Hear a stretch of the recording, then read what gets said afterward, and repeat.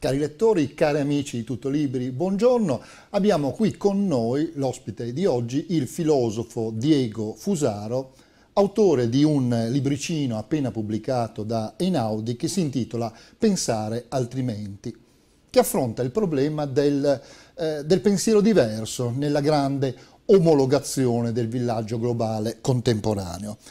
Buongiorno Fusaro. Buongiorno. Che cosa significa dunque pensare altrimenti?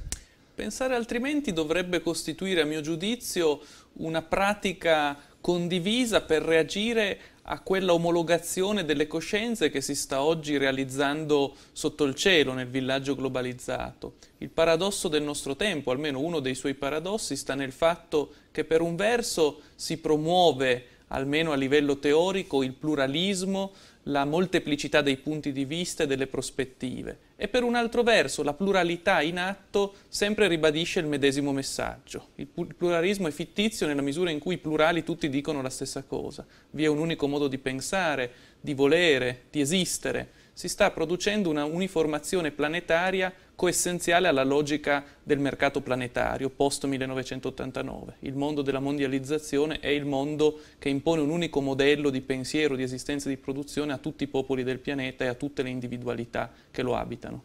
Ecco, lei usa il termine imporre e ha anche citato l'89, cioè la fine della guerra freddo, perlomeno del braccio di ferro tra il liberismo e il socialismo reale. Il socialismo reale ci ha messo dei decenni per imporre il proprio modo di pensare e per costruire il consenso anche con la repressione, con la violenza, ma non ci è riuscito e ha perso il suo dello. Il liberismo invece, il mercato, sembra riuscirci, ma come se le persone, ci, le, persone, le masse aderissero spontaneamente. Senz'altro è così. Eh, direi che nell'essenziale il capitalismo riesce a trionfare dopo il 1989 sul piano ideologico proprio perché in fondo non ci chiede altro che di essere la parte peggiore di noi. Eh, desiderio individuale, egoismo, cinismo, disinteresse rispetto alle alterità, egoistica ricerca del proprio utile personale.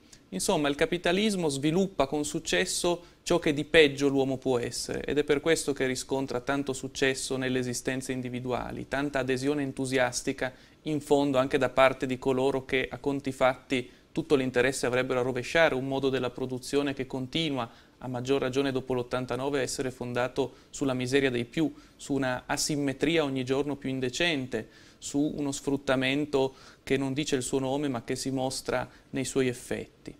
E poi vi è un altro aspetto interessante, credo, che determina questo successo ideologico del capitalismo, questa sua capacità di globalizzare le coscienze e di imporsi come unico regime storico possibile, neutralizzando il senso dell'alterità.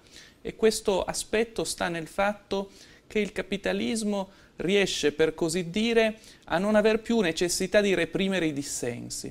Il socialismo reale a cui lei faceva riferimento, e si potrebbero anche affiancare le esperienze dei nazifascismi novecenteschi, ha sempre dovuto reprimere il dissenso. Quelle dei totalitarismi novecenteschi erano realtà pericolose e sempre in pericolo, perché lasciavano crescere forme di dissenso che poi dovevano essere represse in maniera violenta, dal Gulag ad Auschwitz. La società di mercato contemporanea, che io nel libro qualifico anche come monoteismo del mercato, non ha più bisogno di reprimere i dissensi perché opera di modo che essi non possano costituirsi. Lascia liberi i corpi perché colonizza le anime. Fa in modo che tutti, individualmente e complessivamente, pensino e desiderino ciò che il sistema della produzione necessita che essi pensino e desiderino. Quindi l'opposizione, il, il, dissenso per organizzarsi politicamente e per incidere quindi in qualche modo sullo stato di fatto e cambiare, perché noi il mondo in fondo vogliamo anche cambiarlo, vorremmo perlomeno cambiarlo, ecco, come può organizzarsi politicamente per incidere davvero in maniera efficace? Una delle tesi portanti del libro è che il dissenso è una forma prepolitica e che al tempo stesso è condizione di possibilità per le forme politiche dell'opposizione ragionata o dell'indocilità riflessa. Vorrei dire che l'Occidente ha sempre praticato le forme della contestazione, dalla ribellione alla rivoluzione, dall'ammutinamento allo sciopero, a partire dal dissenso come matrice individuale di chi si oppone, di chi dice di no. Ecco, il compito difficilissimo per il nuovo scorcio di millennio sta nel fatto che occorrerà eh, dare una unità, riannodare fra loro i molteplici dissensi, le molteplici vo voci del villaggio globale che sanno oggi dire di no, ma che mancano di, loro, eh, di un loro orizzonte unitario, di una loro coinè vorrei chiamarla. Ecco, il marxismo è stato da questo punto di vista, al netto anche delle, dei suoi fallimenti, una grande coinè della protesta e dell'indocilità ragionata. Il compito fondamentale per il pensiero che non sia arreso alle logiche dell'esistente, che voglia trasformare il dissenso in una dissidenza operativa, sta a mio giudizio nella capacità di riarticolare una coinè del conflitto, una voce unificata della conflittualità oppositiva rispetto all'ordine sempre più ingiusto della mondializzazione.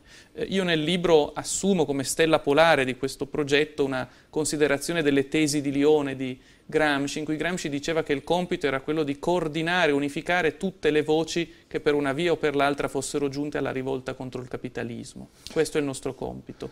Lei cita Gramsci, è un grande interprete di Gramsci, si è anche definito marxiano, ma certe volte eh, Salvini la applaude. Da che parte sta?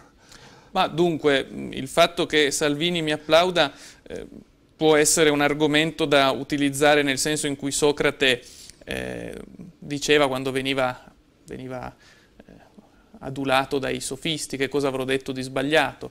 Eh, no, al di là degli scherzi, viviamo in un tempo di grande confusione, per cui è chiaro che singoli movimenti e partiti facciano loro alcuni punti della protesta e del dissenso, ma preciso subito che la mia voce non è integrata e organica a nessuno di essi e quindi io potrei dire di Salvini lo stesso che Catullo diceva di Cesare, non, non, mi curo se sia bianco o se sia nero, ma lo stesso di tutti gli altri politici. È però sintomatico del fatto che oggi eh, singoli partiti comprendano e afferrino certi punti della protesta, eh, senza però mai riuscire a costituirsi come partiti autentici della protesta. Il 5 Stelle, eh, la sinistra italiana, la Lega Nord, i Fratelli d'Italia, tutta la molteplicità dei partiti, su singoli punti possono anche costituirsi come voci del dissenso, ma è l'espressività generale del loro movimento politico che a mio giudizio fa sì che essi non siano partiti del vero dissenso ed è per questo che il mio libro, questo manuale del ribelle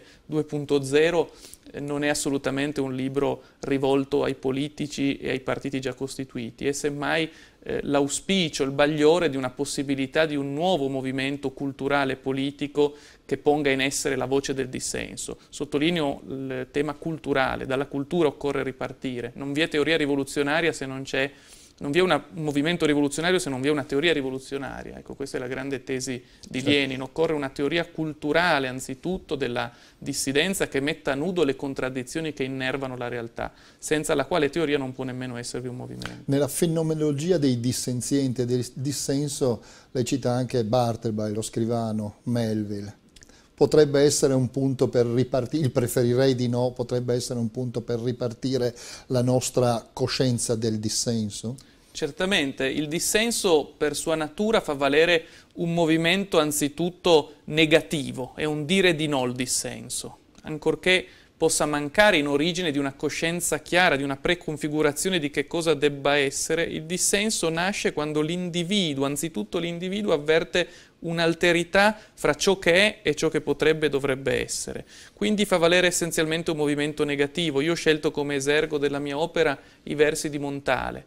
Codesto solo oggi possiamo dirti ciò che non siamo, ciò che non vogliamo. Ecco, Bartleby è personaggio del dissenso per eccellenza, è la figura storica concreta della letteratura che ha per così dire, incarnato la voce del dissenso. Nella sua formula I would prefer not to eh, è condensata eh, in maniera calibrata una giusta e sobria forma di, diciamo così, di educato contegno al rifiuto radicale al rifiuto nettissimo, eh, quasi immediato che si associa al, alla rotazione del capo di chi dice di no. Ecco, Bartleby è l'eroe del dissenso in questo senso, di un dissenso eh, ostinato che non si piega, che non demorde e dal quale è auspicabile che sorgano poi in forme politiche eh, figure della contestazione tese a produrre ulteriorità nobilitanti rispetto alla felicità disponibile ampiamente reificata.